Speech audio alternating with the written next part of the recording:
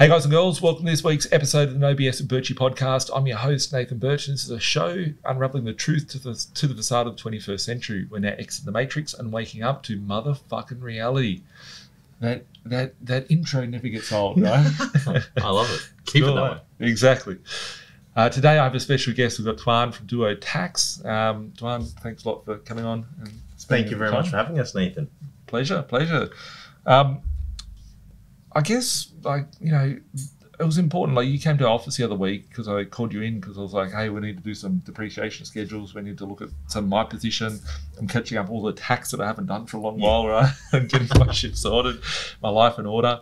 And, um, and I was sitting there thinking, like, we, we need to do some, some content for the community Mm. because uh, there's a real uh, missing piece of uh, knowledge there that you can bring to the table. And For sure. yeah. Um, so thanks a lot for coming along. And um, I guess if you want to give the, the viewers and the listeners a bit of a background just on Yeah. your background and what you do. and Yeah, just I guess um, uh, we spoke a couple of weeks ago, and, I, and uh, my journey's been a little bit interesting. Is that I've never been a quantity surveyor, Yeah. so I know it's a bit awkward to, to hear to say to hear this uh, from a professional. But um, before I was a quantity surveyor, Nathan, I was actually a civil engineer. Yeah. Um, you know, working a day job and trying to make something of myself, and of course, Yeah. like that, like anybody in what 2010, trying Yeah. to break through and uh, you know manageable interest rates. Yeah. Uh, property was affordable uh, Yeah. once upon a time. Yeah. Um, Still is today. yeah, it is in the right Depends, markets. depends who's asking, Yeah, right? who's asking. Yeah. Yeah. And uh, you know, back then I think it was a lot more accessible to buy something in your local neighborhood. You know, um, Very much my, my first investment property in 2010 was in uh, Canley Heights, uh, which is sort of around the Fairfield Liverpool area. Uh, for those that don't know, and um,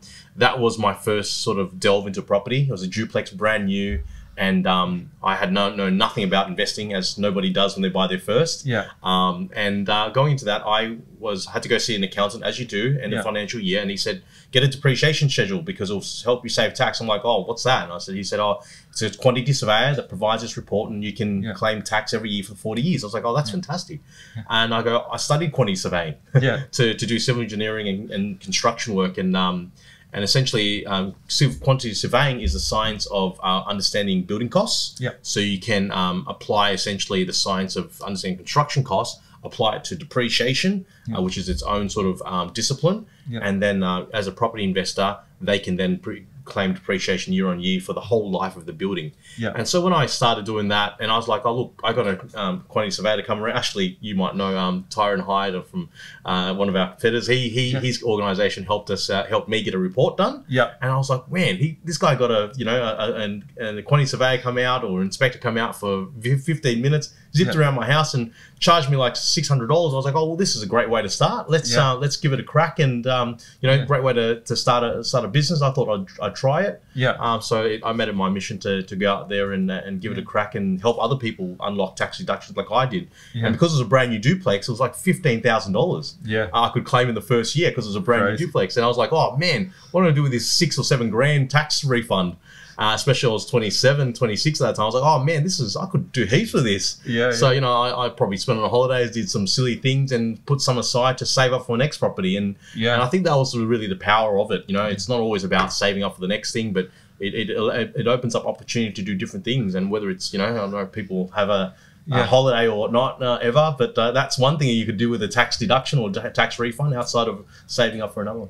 Uh, my, my whole thing is about treating your property investing like a business. Uh, I have the number plate cash flow. Right? it's all about the cash flow. Cash flow is king. Exactly right. It's uh, people don't go broke if they don't have a cash flow issue, right? And if you Yeah. can, if you can um, find that cash flow from wherever, especially in a time like today, it's cash flow that people don't see in their property that you can get. And uh, to be frank, like we're all being robbed from the state, right? Yeah. We're all getting the, you know, they're trying to take all Increase our in stamp duties and take our stamp duty. They're trying to. So yeah, cash flow is very important. Like the the yeah, the whole world runs on cash flow, and uh, if you can manage it better, if you can find it from wherever, everyone's always trying to extract it. I see these people that try to cut corners. They try to cut expenses on a regular basis, on every day. They're trying to save two bucks here, save two bucks there. Mm. But if you can treat your investing like a business and find and unlock those hidden cash flows. Mm. That's you know that's how the big guys do it. You know, everyone always says, "Oh, those big guys they don't pay taxes. They they you know they make millions of dollars of profit and don't do anything." It's like how can you minimize that? And I think depreciation is the one that mm, eighty percent of people don't even understand. A lot of people, yeah. There's a lot of people that um, come to us, and it's two to three properties in, and they're like, "Oh, I didn't know about this until Yeah. I changed my accountants, or I saw um, B.Invested, or spoke to someone that they Yeah. that in, that's in the profession." Then they get unlocked some of this knowledge, and essentially, that's a lot of people that miss out on this, and and it's a common misconception, isn't it? It's like, oh, no, even if they know about depreciation, it's like, oh, no, property's too old. Yeah. Well, what about if it's got a brand new, you know, kitchen bathroom from ten years ago, built by the previous owners? Yeah. you can claim that. So uh, that's a, that's a big deal, which we'll go into a little bit later. I've got lots of questions around it. Yeah. Right? I think there's going to be so many people, right, that will be watching this video and rewatching this video and rewatching the Mm. video because the knowledge that you've got. I, I, I just recall the conversations from the other week I, when you came in the office and I was, you know, introducing you to my team and Yeah. just saying, "Hey, ask these questions. We'll fire around questions and, and round tabling things." And um, you know, the amount of um, you know knowledge that you have is, is second to none. And um, you know, uh, I guess in instance, uh, like in, in wrapping up what it is as a quantity survey, what you do, you're going around to people's properties. You are like a valuer. I'll use the word lightly. here, Yep. right? Like a valuer, valuing all the fixtures and fittings, the taps, um, the lift, if you're in a unit Equipment, block, yeah. equipment. If it's um, got a gym, it's got a pool, yeah, that strata title, you can claim a portion of that because you own a portion of that that Yeah. asset. Um, and if you have a house, anything that's motorized, you can claim all that stuff. yeah, The building, the structure is eighty to ninety percent of the construction costs, yeah, which is hundreds of thousands of dollars that you may be entitled to depending on Yeah. how old it is. yeah. So we can go through all that. Yeah. Yeah, cool. So you're literally valuing. People think it's the the, the land that's the important part, right? I look at these. I bought, I've bought properties, right? And we were talking about one the other day, and it's Yes. like paid like two million. It's got like twenty mil worth of depreciation of different fixtures, fitting hundreds of units in the complex and that. Yeah. And it's like I just look at these things and I'm like, this is a tax lien. This is like there's, there's like a, a an asset there, and like it's the hidden. It's the Yeah. hidden. Like you, you don't see it. It's and like, you've got to unlock that and it's really up to you know just asking the right questions to the right people and essentially quantity survey is the right person when it comes to you've got a property asset an investment property and um, you sort of don't, don't know what it's entitled to what you're Yeah. entitled to claim.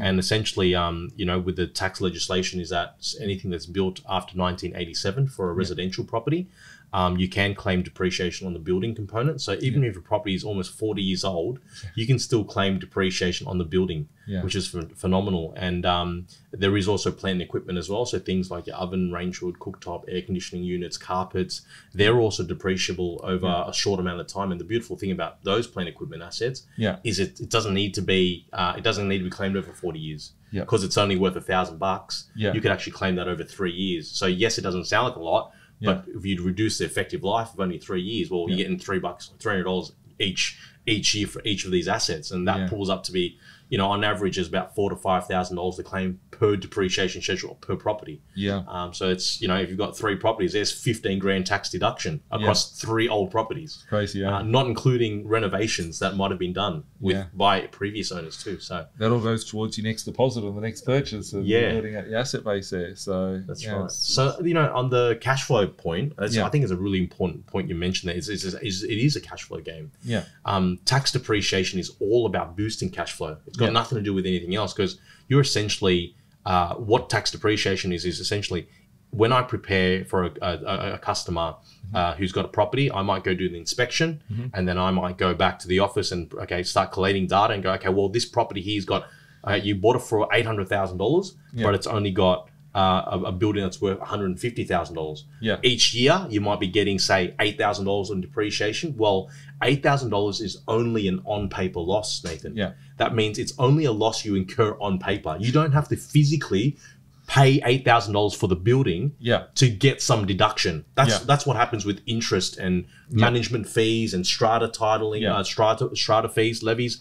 Those are uh, uh, tax deductions. You have to incur a fee. You've got to you've got to pay it, and then get a deduction. Yeah. Depreciation is only on paper, where a quantity surveyor says Yeah. you get eight thousand dollars tax deduction. Yeah. But you don't actually have to incur it, and then essentially, what are you doing? You're just claiming the refund. So that's why they call it negative gearing because yes, it is negatively gearing your property. It's making it's incurring a loss because depreciation is wear and tear of the property, and we're assessing what the wear and tear value is.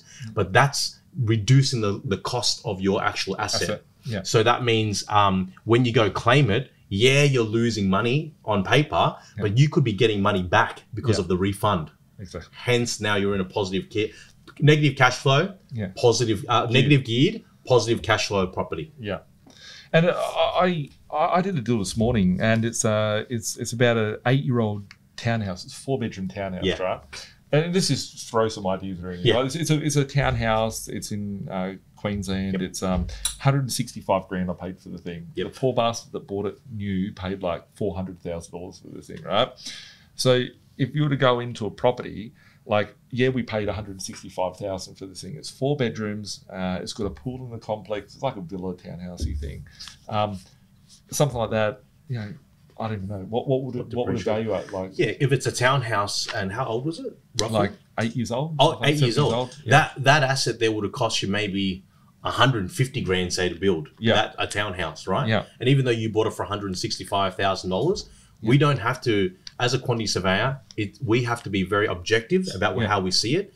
The land valuation, put it aside, Yeah. and look at the asset for what it's worth The in terms of the building value. If the, copper purchase, if the price was four hundred thousand dollars to build, to uh, build um, and buy, Yeah. uh, that including land and building, well, our job is to work out the building component yeah, from construction date Yeah. and then retrospectively work out okay well Nate if it's eight if it's eight years old yes it was worth two hundred sixty thousand dollars to build but today because it's only it's still worth one hundred twenty thousand after the residual depreciation over the eight years Yeah. well Nate is entitled to claim. 140,000 or 130,000 even though that's 80% of the construction uh, of the purchase price, price, yeah. it doesn't matter Yeah. we've got to look at it very objectively as quantity surveyors and work out what the construction cost is at the time Yeah. including now and people would understand now if you're buying a property in the last couple of years brand new Yeah. you'll be able to claim huge depreciation because of the value it is t- um, from a year or two ago Yeah. so even though construction cost might drop in five years or ten years unlikely yeah, you still got to you still are entitled to claim that depreciation from the from the from the set date of when it was built yeah. yeah So I guess like if if we look at it from that perspective, like we're buying a property, rents for like four hundred bucks a week, we're picking it up for uh, one hundred and sixty five thousand. Um, it probably cost the four hundred grand at, at the time to sell, Yep. like when they bought it. Yep. Um, let's say it cost two hundred grand. Just make up some rough numbers. Let's say it cost two hundred grand to build. So in essence, you'd get that two hundred grand. There's different ways that you can measure it, like uh, forty years or Correct. sliding scale of yeah from that perspective. But you got like five grand or maybe seven grand a year that you don't have to pay tax on. If I'm on thirty percent interest rate, uh, thirty percent right. tax rate, you're Yep. getting thirty percent back. Yes, from correct. The accountant. So, That's right. Yeah. And so essentially, it's it's it's a it's a no brainer. And essentially, we- we have um when it comes to depreciation, you do get two methods of claiming. Yeah. So when a depreciation schedule, because it's a schedule, it actually forecasts how much money you get or deductions you get per year while Yeah. you hold that investment property for the next forty years Yeah. from the build date. Crazy. Okay, so you've got an eight-year-old asset. you've got thirty-two years left. Yeah. Say on average you're getting about ten grand per year. Yeah. You're on a thirty percent re- um, uh, tax rate. You're Yeah. going to get three grand back per year. Yeah. Now that's on usually a prime cost method. You Yeah. can do diminishing value, which Yeah. increases the depreciation, but the plant and equipment is only claimable when the prop when the asset or, or the residential property is brand new. Yeah. So in order to claim plant and equipment uh, depreciation when it comes to investment properties, the property has to be uh, you, you have to have built the property brand new yourself through a developer, or you go and buy those assets brand new from a retailer like Good Guys or something like that. Okay. Install them ready for use for the te- the tenant, not for yourself. Once you owner occupy it, the Yeah. property is then considered second hand. So they don't let you claim the oven, the range hood, the cooktop, but you still get to claim 80 to 90% of the construction cost, which I mentioned before, which is your bricks and mortar, your windows, your roofing, your roofing, uh, things like that. They're still depreciable. So it's definitely still want to be claiming, just not as much when it's a second-hand residential property. And sometimes people will think, um, sometimes people will think, hey, I can't claim anything on this property. Mm. Um, you know, or it's a bit older. I'm going to renovate the kitchen. I'm going to renovate the bathroom.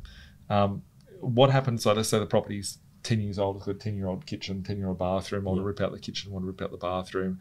Want to retile it and not have floorboards. Yeah. What would happen, like scrapping, and how does that sort of stuff work? as well? Yeah, that's it's a uh, that's a huge one that uh, people often miss, and it's like people come to us and they say, "Hey, I've, hey, Tuan, I want to get a depreciation schedule because I've just gutted out my house Yeah. or this re- investment property I've got." Yeah. And um, just get a depreciation schedule for the new stuff. I'm like, Yeah. oh, what was there previously? And like, oh, you know, like it was, you know, whatever it was, and we weren't happy with it. We wanted to update it. Yeah. If it's a 10 year old property, so Yeah. that means you've got 30, year, 30 years left of depreciation. Yeah. And if you say, for example, it's a $200,000 um, build Yeah.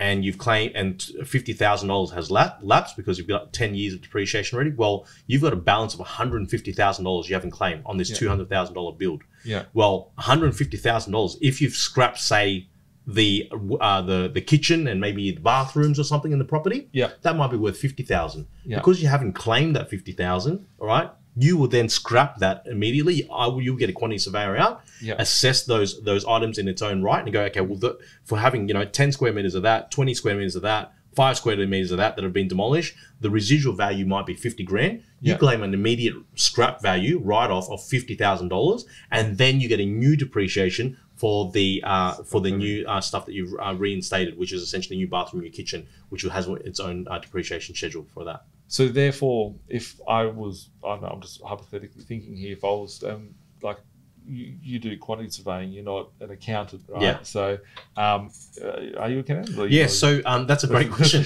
That's a good question. So Yeah. quantity surveyors is essentially construction economists. We uh, because we understand the the uh, the mechanics of um, building costs and whatnot. Yeah. We the ATO says you need to see a registered quantity surveyor. Yeah. That's a registered tax agent. So Yeah. yes, we're registered tax agents, Okay. which is where the confusion is. Yeah. But we don't. We cannot provide um, uh, services of, of, of taxation. Taxation, yeah. We only do um, tax depreciation, um, and the reason why we're registered tax agents is because we're providing Yeah. uh, depreciation um, rate advice. Yeah, so. I, I'll go into your property. I'll go, okay, you've got windows, walls, doors, frames. You've got uh, plant and equipment assets like air conditioning units, lighting, da da. Yeah. I've got to work out, okay, well, this is the effective life of this, this, this. That's as far as a tax agent re- uh, licensing and registration goes. Okay. So that's where we provide the depreciation. Here's the construction cost. Yeah. That's what the ATO wants us to provide. This is the cost base of your air conditioning unit that's five years old, Yeah. or this is the cost base of your investment property based in Penrith that's ten years old, and then we give that to the accountant, and then the accountant works out. Back okay, well let's let's take that depreciation value of Tuan's, Yeah. input it into the tax return. Fantastic. Yeah. And so let's say, for instance, that scenario where the 50,000 would be scrapped away, be thrown in the bin, and I could claim that now Mm-hmm. um, without anyone here giving tax advice, right? You need to go and speak to one path accountants or whoever else Yeah. that you're using. But we could technically, like, let's say, for instance, I had a big year and I had higher income than expected, Mm. then that scrap value would help me this financial year. Yep. I've done the renovation. For sure, because it's So- considered a loss to Yeah. you, given that uh, it's a uh, you know it's essentially an asset an asset that you didn't weren't able to use, scrapped Yeah. it, so you claim a tax deduction. crazy. Yeah. Yeah, it's a it's a huge one that a lot of people miss out, and and you know, ten years scrap is not common, but you do get things that are thirty years old. Because right now, if you've got a property that's thirty years old, Yeah. you could still claim the scrap value because the cutoff is 1987. 30 years from ago from now, 2024 is 1994. Yeah. you've got a property built in 1994, and you scrap anything from that, Yeah. you'll be able to claim tens of thousands of dollars. Crazy, and that's a huge amount for anybody, And a right? 30 year old property, you're going to do the bathroom, you're going to do the kitchen, you're going to do stuff like that. Correct, Um, yeah. Yeah. Yeah. And um, yeah, it's, that's, that's really cool. And like sometimes tenants trash a place. Sometimes there's an issue that occurs. Sometimes there's a leaky bathroom. You have to go in there, replace the bathroom, scrap it out, and That's Yeah, right. Yeah, so- and one of the things uh, people also forget is um, if you if it, it's oh is it too late to Yeah. claim a uh, tax deduction or tax depreciation schedule? Get one. Um, actually, you can go back and amend two tax returns. So that, Okay. yeah, the uh, um, you might need a bit more than that. but, but, uh, yeah, so, so essentially anyone can do two years worth of amendments. But you can. I We've think I had need, customers. I think I need to amend. I think I need to yeah, you amend. definitely need to amend. But there's other people that are doing ten years. Wow. You know, there's people going back ten years. Go, man, I've never been provided this advice. Can I go back and do get a depreciation schedule from something like built in 1990s and I've, Yeah. I've, I've held the property for a number of years and I haven't done it.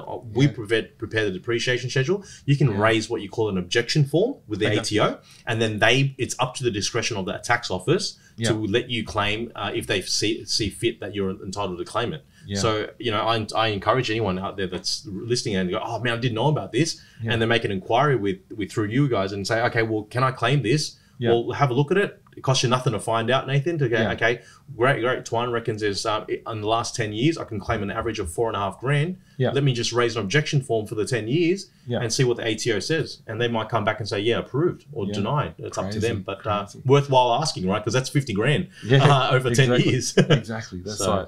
That's a big, Money on that's the a big table. difference. There's Yeah. a big difference. And, and on that, like, there's a little banner on here if you're interested in getting a depreciation schedule. Um, we get them because we send so many over. We get them Yep. cheap and discounted. Yep. So click on, send us a click on the link or yeah, the the beinvested.com.au slash depreciation and uh, fill in your details and we'll send it over to the guys. And um, with, with that, um, when you do the report, that's actually tax deductible as well, Mm-hmm. like even the cost of your report. That's right. Yeah, um, um, we do charge seven hundred dollars for the report um, for as standard, but we've Yeah. got exclusive pricing for you guys. But that fee Yeah. is one hundred percent tax deductible, Yeah. including the GST if you're a, you know Yeah. uh, just a not you know you're just an individual, Yeah. um, which you can claim. Um, but also, yeah, I'm not sure if your your clients um, cl- um, do also commercial or anything like that, or motels or anything like that. They do. I do the motels, but um, Mm. people this have weird and wacky things, right? so I was thinking as well, like as Yeah. uh, like when you were explaining at the start,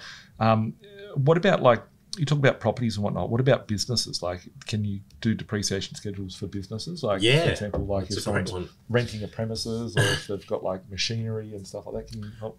Yeah, massive one, and I think the scrapping stuff we spoke about is going to pro- probably apply most of them. So you're um, if you um, okay, put myself in my position, like, like into uh, as a as a as an example, I bought a commercial uh, suite, Yeah, and then I bought it with an existing fit out, Yeah. pretty crap. yeah, Um, and um, so in the family trust I bought it in, Yeah. I've then uh, decided that you know what, the family trust will own the building yeah, um, and all the uh, you know the fixtures and fittings. So the, Yeah. the air conditioning unit, you know the door, the alarm on the you know the sort of buzzer on Yeah. the front, but everything inside we gutted. So then when we gutted it, we claim an a tax deduction or a scrap value on the old fit. It was about 15 years old. I think our Yeah. building's about 15 years old, and then we gutted it. Um, so we claimed you know about 100 grand or something like that, Yeah, which is an existing fit out. And then when you claim the existing fit out, you got the scrap value to your family trust that you bought it in. Yeah. When you put in the uh, the, the fit out, you can Yeah. choose to whether fit it out part of the expense through your family trust, yeah, or if you want to do it directly in your business. Yeah. And that becomes a business write off.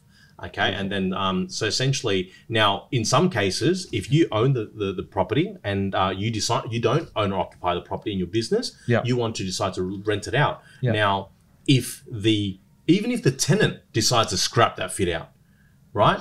The the the, the landlord is entitled to claim the scrap value because the landlord owns that fit out, and that fit out belongs to either you or the previous tenant who vacates. Now, if a tenant vacates a fit out, Yeah. essentially then the te- the tenant is leaving it back and saying, "Hey, you know, I'm going to vacate and li- drop, you know, sort of drop the keys and say I'm going to walk away." Yeah. Well, then the landlord owns that fit out and is entitled to any scrap value on the residual value of that. So we can get a depreciation schedule done for that. I think I'm That's going back a few years. It's all Yeah, fine, eh? that's, the amount of offices that I've gone into and know, Scrapped scrapped and, yeah. and yeah, renos that I've done in, in my own offices over the Yeah, years. and you so- can do it in different entities depending on who does the work and whatnot and who contracts who. So if your family trust contracts it or if Yeah. your business contracts it. Yeah. And of course, depending on what works for you. And of course, end of the end of the day comes down to having that conversation with your accountant and working out uh, what works best. Yeah, that's fantastic. That's Yeah. uh, that's really really solid Yeah. um, advice there. So, I guess one thing that I was thinking as you were sort of saying it just then, like on average, like everybody's property comes in different shapes and sizes. What would be like a typical sort of situation? Like, is there any sort of typical sort of on average that your clients would probably? Yeah, for okay. for for you know, like most mum and dads, I think is a big um, general consensus that you know it's always like, oh, someone told me to get a depreciation schedule. I'm not sure if it's worth anything. Yeah, The greatest thing is that you know in 2024 now, the amount Yeah. of resources we have, like RP Data, I'm pl- pretty sure everyone knows RP Data, Yeah. connected to realestate.com.au. It's all one Yeah. organization that has all the data of the universe Yeah. to give us all the information that's required. So we pay subscription obviously to get the data, and Yeah. that data tells us, okay, if you give us a property uh, address, we work, we then do a search, work out what the build date is, Yeah. or the construction date is. We then work out, okay, well, depreciation based on a two bedroom unit in, um, you know, in that's built in 2014 in the Western Sydney is Yeah. worth this per square meter because it's you know whatever double brick da da da. It's got basement car park. Da. Yeah. Then we work out a square meter rate. We give you a projection of this is what it is, Yeah. and so that's probably the most common scenario we get when, Yeah. when people are coming through um, inquiring. So someone's got like a 10, 15 year old property, like could you expect to get a five grand a year sort of thing? Like it's Yeah, it's on average, the average deduction is probably going to be about four and a half to five thousand dollars. It used to be sort of seven and a half, eight, Yeah. But that's before with the 27 legislation. So it's Yeah. 2017 legislation. Before that, you Yeah. could claim plant and equipment depreciation on any property. So even if you had, like, say, a property from the 50s, you could be the 10th owner of this same piece of carpet that's been run down and, you know, uh, got that bad smell through it. Yeah. And you could still claim depreciation, at, albeit at a, a lower residual value, but you Yeah. can still claim So the ATS was like, well, we're losing a lot of money here paying tax back. So let's change the legislation so pe- make people only be able to claim it once, Yeah. uh, a, a piece of uh, equipment Yeah. uh, when it's brand new, and that's it. So that's what's uh, impacted new investors today. Yeah. But that only impacts like plant equipment, which is at 10 to 15% Yeah. of the construction cost. The 85% has never been touched. The only, Yeah. cut uh, um, the only cutoff is that it has to be built after 1987. Yeah. Correct. Yeah. And and um, on that front, like most of our investors are buying five properties, ten properties, twenty Yeah. properties in their portfolio. So if someone has ten properties and they can save four and a half grand a year, there's like forty-five grand a year. That, that, Yeah. That's what they can claim. At least, is that yeah. the, is that what they get back, or that's what they they claim as a tax deduction, and then they uh, depending on their tax rate, and if they're on uh, probably ten properties, they're probably on a pretty aggressive tax rate of forty percent or something like that. Yeah. um, that's going to be a decent amount because you'll be getting what maybe twenty five or twenty grand per per annum in, in your back in Back your pocket, pocket. which Yeah. is uh, a huge amount. Um, There's a half a deposit there. Yeah, that's right. Yeah, for another one to go again. So cool. Um, is there anything that you would recommend to the viewers, like the, any little tips or things that you could think of that? Yeah, um, I think uh, if you're out there investing and, and thinking about buying, uh, even if it's not a case of I've already bought, it's a Yeah. case of I'm thinking about buying and, and the numbers need to stack up for you. And it's kind of like borderline, you know, cash flow, what's it look like? Yeah. Um, not that depreciation is something you always want to incorporate into your calculations of affordability, but if it's important to you and, um, you know, it's, it's sort of sort of on the edge there, Yeah. just shout out to us, you know, Yeah. reach out to yourself or, or me. Yeah. Uh, and then, you know, and I, I, my, my team will be able to just workshop with you. Okay, well, this is the, if you were to buy it today, this is what it looks like. We've Yeah. got the ability to do that. And so I highly recommend people do that and ask those questions. I think it's like I think if someone's not doing that, if you own one property and you haven't spoken about it, like you're leaving money on the table. If you That's own ten properties, you own a commercial property, you have a business, you have plant and equipment, Yep. you're really Yeah, you're definitely. wasting- If you've got any assets, whether it's business or not, even if you're rent, you- even if you're a, a tenant, Yeah, part of a premises that you've done a fit out for, Yeah. I encourage you. You know, like, hey, like, you know, I'm not sure, regardless if your business is doing well or not, yeah, you should be looking at it because it's money on the table and it's essentially the tax office's money. It's better in your pocket than theirs, that's for sure. Well, uh, they try and get every single cent out of your pocket, right? Yeah, they try and take right. every cent, right? Yeah. And um, and the more that you can save in your pocket, the the better that's going to be. So especially Definitely. a time like now, I- I- Legitimately, too. legitimately, right? And it's That's it's, right. It's there. People people like, oh, these people that earn lots of money, own lots of assets, they don't pay any tax. I'm on three hundred grand a year, and this guy's got hundred million dollars worth of shit. He pays two dollars in tax, and I pay you know half my wage in tax. That's you know, it comes down to strategic planning. The rules are all there; they're all set out. Yeah. Uh, Kerry Packer said it well when he said that um, you know they, they did the, the inquest. Uh, Maybe we'll just play it on the screen just for a little bit of fun, right? Yeah, that'd be We'll good. Get, the- get I- them to edit and put it in. I am not evading tax in any way, shape, or form. Now, of course, I am minimising my tax, and if anybody in this country doesn't minimise their tax, they want their heads ripped. Because as a, as a government, I can tell you, you're not spending it that well that we should be donating extra. That. Yeah, it's it's a great quote. It's a great. Uh, it'll never. It'll go down to the history books. That one. Yeah. Yeah. Better better in our pockets than theirs because they, we, we, they definitely don't know how to spend it, do they? Exactly. Um, so yeah, and I I guess um, a few questions, like more technical sort of questions, like when when we look at cash flow on a weekly basis, right? Like um, you can divert your income tax. So, say for instance, you're on 100 grand a year, you're paying I don't know what you'd be paying, like 100 grand a year, you might be paying 30 grand in tax or something like that. Um, you can go to your accountant, you can get I forget what it's called, like the division where you um, get you don't pay as much tax throughout the year. Yeah, yeah, Yeah. yeah. Um, it's it's uh like a yeah. in- sorry, income tax There is a- yeah, form, income yeah, tax variation. variation Yes, form. very good memory. So income Yeah. tax variation form, if you can get that, but then like if you back it up with having a depreciation schedules and you, You got say ten properties Mm. and you get forty grand a year, your income then is not hundred grand to the ATO. You're now on sixty grand a year, so your tax rate falls all the way back down. You won't even be eligible for some pension or something, concession cards, right? Because you're not earning enough. Yep. But um, I, I guess um, a couple of little uh, things here. Your capital works, which I think we covered off on how to claim Division 43. Yep. Is that? Yep, that's pretty much the building depreciation which um, uh, you're you're entitled to uh, if you're if you're an asset that's built after AT 7 um, and it's worthwhile just checking if you're not sure because it's um, there's plenty of resources to do that. Um, Division 40 plant equipment, um, which is claimable only when it's brand new for residential uh, property investors, and if you're a commercial property investor, you can claim it whether it's brand new or or, or, or old. Yeah. So no va- no problems there if you're um, doing commercial. Low value pooling is is a great one. So any asset because of you know if you think about um, you know uh, a table, if you got a table that's worth two hundred bucks, Yeah. the ATO might have an effective life of fifteen years. Yeah. The ATO is thinking, well, fifteen years to claim two hundred bucks is a bit ridiculous. Yeah. So they do have some uh, what is a low value pooling, and essentially that allows you to claim that two hundred dollars uh, quickly. Yeah. Yeah, so if it's worth, worth less than a thousand dollars, there's accelerated depreciation. Yeah. And when it falls, bel- when it when the asset's worth less than three hundred dollars, you can Yeah. write it off. So in that table, it's worth three hundred bucks. Yeah. You could write it off in the first year. So then you pull it together, you get some good depreciation, and hence that's why the, there's a, that legislation exists. Yeah. Okay. Cool. Um, the Methods or to, uh, methods of depreciation. Yeah. How can it be- Oh, uh, The- drawbacks. Yeah, you want to, what do you want to do? Um, B. Yeah. How can it benefit and what potential drawbacks? Drawbacks is the only one is the you know the payback. Do you want to talk about No, we don't leave. We'll leave that one for you. We'll cut that one out. that? Let's go through your notes. Um, we talked about diminishing value beforehand. Yep, yep. Um, claiming investment versus residential properties. I always get screwed up when I read things. Like I always like just No, flow we'll, yeah, we'll flow with the conversation. It was good yeah. though. Yeah, we crossed yeah. off a lot. Yeah. But I can go into methods if you want to. Do you want to? Do you have time for it? Yeah, we can, Yeah. Essentially, with the methods of Yeah. depreciation being diminishing value and prime cost, most people will go with diminishing value method. And essentially, what that means is got very aggressive depreciation on plant and equipment in the earlier years. Yeah. So then, instead of claiming that, um, you know, that that air conditioning unit unit in ten years, Yeah. the ATO will have a method called the diminishing value method and Yeah. pulls all the depreciation in five years, Yeah. and that's legal.